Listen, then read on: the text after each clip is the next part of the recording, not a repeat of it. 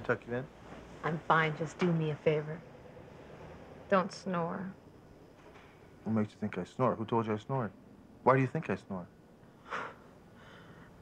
Well, re- remember that um that blonde you dated last year with the uh, Yeah. yeah. Well, I talked to her a little bit. You know. Really?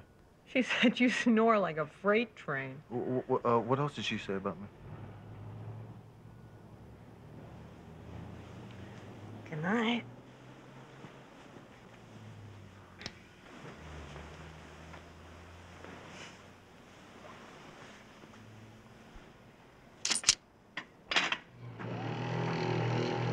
Oh, no.